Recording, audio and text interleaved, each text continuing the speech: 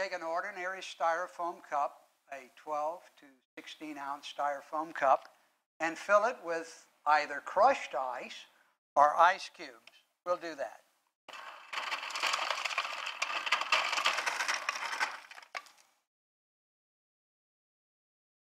I've learned that if you compress this, you will be able to keep the cup from cracking. So I tap it on the bottom, and as I tap it, the ice settles into the crevices, and I get a good compaction of my ice.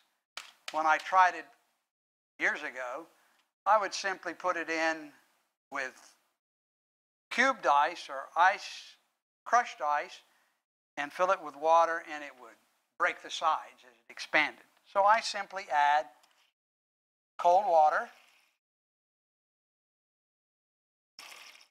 to the crushed ice, and now I'm ready to put it in the freezer compartment.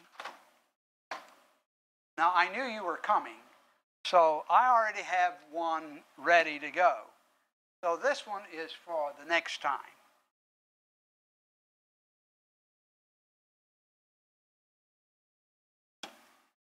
I usually keep one of these in the refrigerator, in the freezer compartment, because this is the greatest way I know of relieving musculoskeletal pain. So I'm going to take you into another room so that I can show you how I do the ice massage. Take a sharp knife,